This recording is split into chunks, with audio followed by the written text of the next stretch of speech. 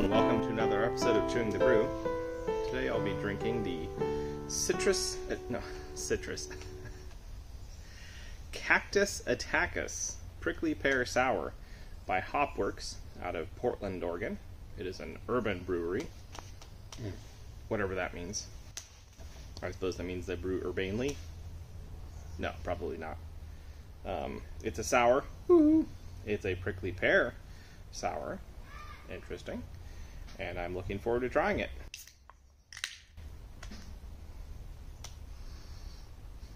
Hmm, smells sour. Ooh, almost a kind of a reddish.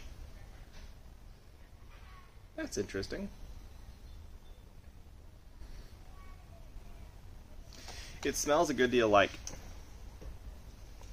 I don't know if you ha- if any of y'all have had those, but the um, Ten Barrel Brewing has the Crush series of sours that are really nice, warm weather beers. They have like a they even have a Crush um, a cucumber sour.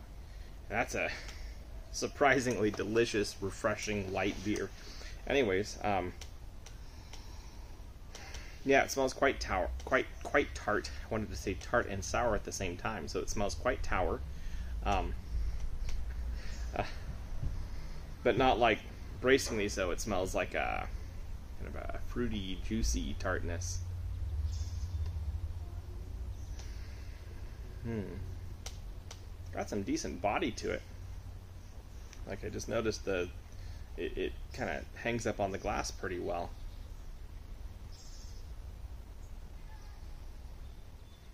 The head is uh, pretty creamy white.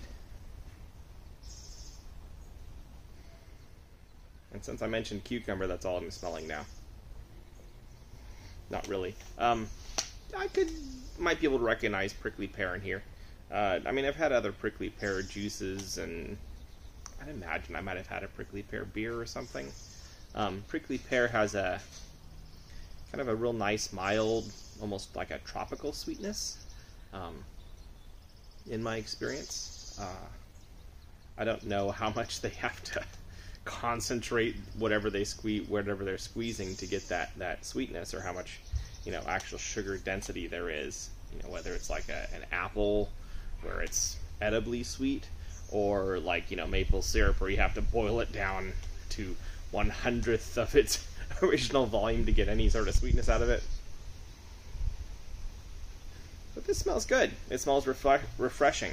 Um, it smells maybe natural as opposed to artificial. There's not any you know chemical bite to this to the to the uh, the smell.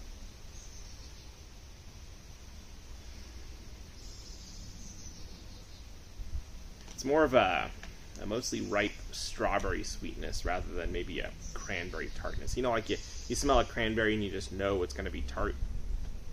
It's not like that. It smells nice. Let's drink it.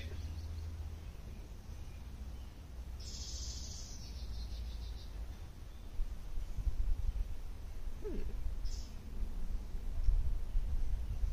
Okay, that's got a little bit more going on than maybe the Crush series. Um,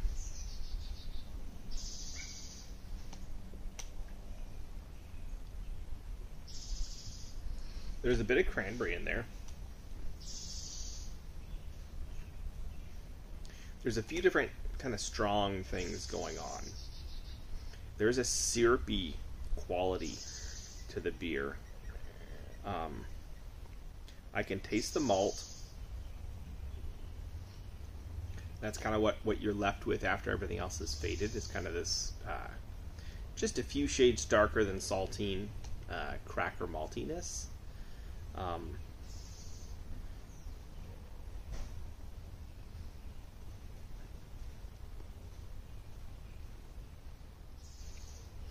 That's interesting. Um, maybe some unripe blackberry. Uh, the the syrupiness, uh, the tartness is there, um, but there's kind of a, a body to the tartness. It's not just a you know a pinprick. There's there's something else going on there. Um, it's a very interesting beer. A couple different layers. I'm not sure I would say it's super well meshed, the different things going on. It's more like there's three different soloists coming in and leaving at different times. And they're not necessarily singing the same song. They're not unpleasant together. But, okay, if you're into music at all, consider a, a group like maybe the Home Free Vocal Band, a multi artist uh, vocal group that is designed from the ground up to be singing together, harmonizing together, and recognizing that the point of the group is all of them working together, versus a group that's comprised of multiple soloists, like uh, the three Irish tenors, or the four Irish tenors, or the whatever, 12 Irish tenors, or Il Divo, which their voices are beautiful, undeniably so, and they are skilled at harmonizing with each other, but they are not practiced at the blend. And so, while their voices are individually beautiful and the group effort is undeniably artistically good, um, there is a, a lack of the depth in the harmony.